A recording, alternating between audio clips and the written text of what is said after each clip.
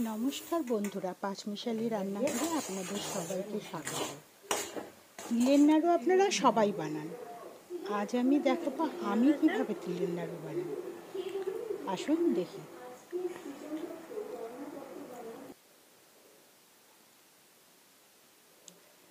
প্রথমে আমি কড়াইটা বসিয়ে দিয়েছি। কড়াইতে দিয়ে দিলাম এক চামচ ঘি।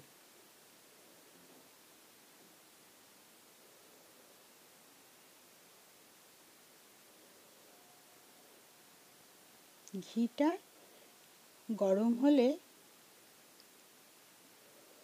এবার আমি এর মধ্যে তিলটা ঢেলে দেব। তিলটা আমি আগেই বেছে রেখে দিয়েছিলাম। তিলের মধ্যে অনেক সময় ছোট ছোট কাকড় থাকে, আমি সেটাকে বেছে রেখে দিয়েছিলাম। এবার তিলটাকে আমি সুন্দর গন্ধ বেরোনো পর্যন্ত ভেজে নেব।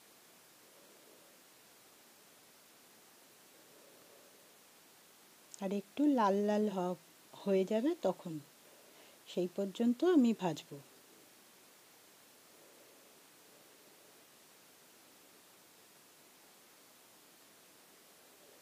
তিলটা মিডিয়াম ফ্লেমে অনবরত নেড়ে চেড়ে ভাজতে হবে, না হলে পুড়ে যাবে।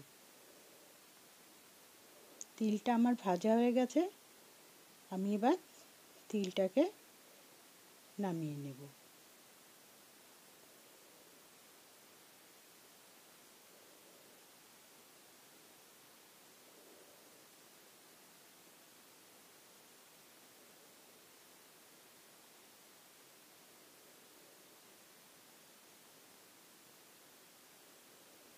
তিলটা নামিয়ে নিয়েছি, ওই কড়াইতেই দিয়ে দিলাম অল্প একটু জল।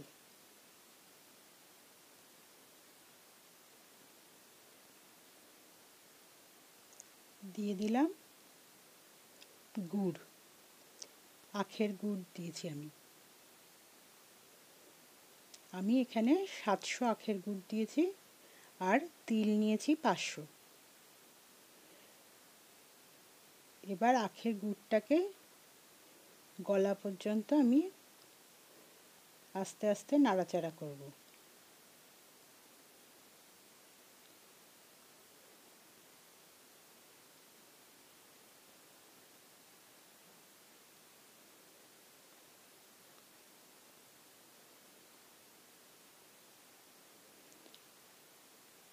আর তিলটা ভাজা হয়ে গেলে গ্যাস বন্ধ করে কিছুক্ষণ এমনি খালি কড়াইতে নেড়ে নিতে হবে।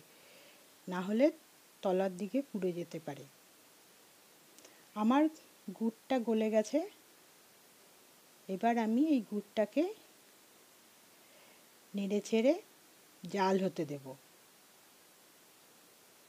আর মাঝে মাঝে নাড়তে থাকব।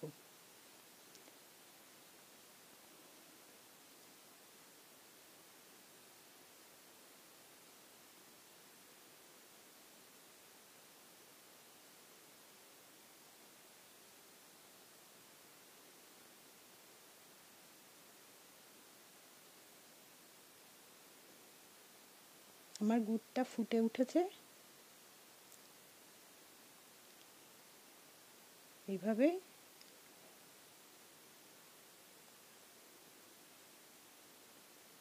আমি মিডিয়াম ফ্লেমে নাড়তে নাড়তে আমার গুড়টা হয়ে গেছে আর জাল হয়ে গেছে আর আমি মাঝে মাঝে জলে দিয়ে দেখছিলাম আমার গুড়টা রেডি হয়েছে কিনা। জলে দিয়ে যখন দেখবেন যে একটা বলের মতো গড়া যাচ্ছে, তখন মনে করবেন গুড়টা হয়ে গেছে। বলের মতো গড়ে দেখবেন যে একটু শক্ত শক্ত হয়ে গেছে, তখন মনে করবেন গুড়টা হয়ে গেছে। গুড়টা জাল হয়ে গেলে একটু ভালো করে আবার নেড়ে ছেড়ে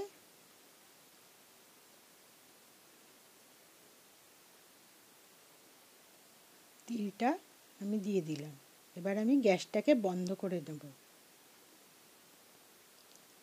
তিল দেওয়ার পরে গ্যাস চালিয়ে রাখা যাবে না। গ্যাসটা বন্ধ করে দিয়ে তিলটা গুড়ের সাথে ভালো করে মিশিয়ে নিতে হবে। আর এই কাজটা খুব তাড়াতাড়ি করতে হবে, কারণ গুড়ে তিল দিলে খুব তাড়াতাড়ি জমে যায়। তিলটা মিশিয়ে নিয়েই আমি একটা পাত্রে ঢেলে নেব।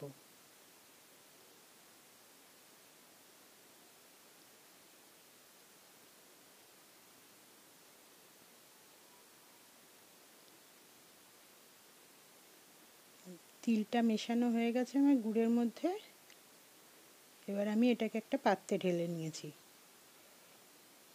অল্প একটু ঠান্ডা হতে হতেই এটাকে পাকিয়ে ফেলতে হবে। আস্তে আস্তে পাশ থেকে নিয়ে এভাবে দু হাতের সাহায্যে এরকম গোল গোল করে আমি পাকিয়ে নেব।